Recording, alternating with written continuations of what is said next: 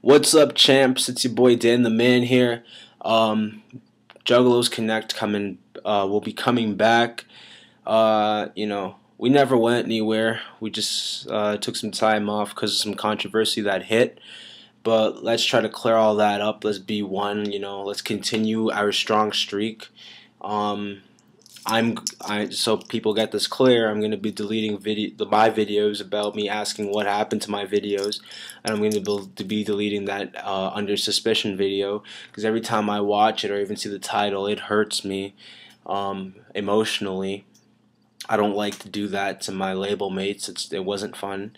Um, and yeah, that's what I got to say about that. Uh, there is something else that is kind of bothering me. I don't really want. I'm not gonna I don't really want to say it right now. Um, but I want us to, you know, come back and continue to hit YouTube by storm with this channel. You know, everyone, like, we still have a good lineup. Mr. As I Rant even said we did, you know, so let's come back. Let's come strong. Let's, uh, let's show the world that Juggalos ain't nothing to fuck with.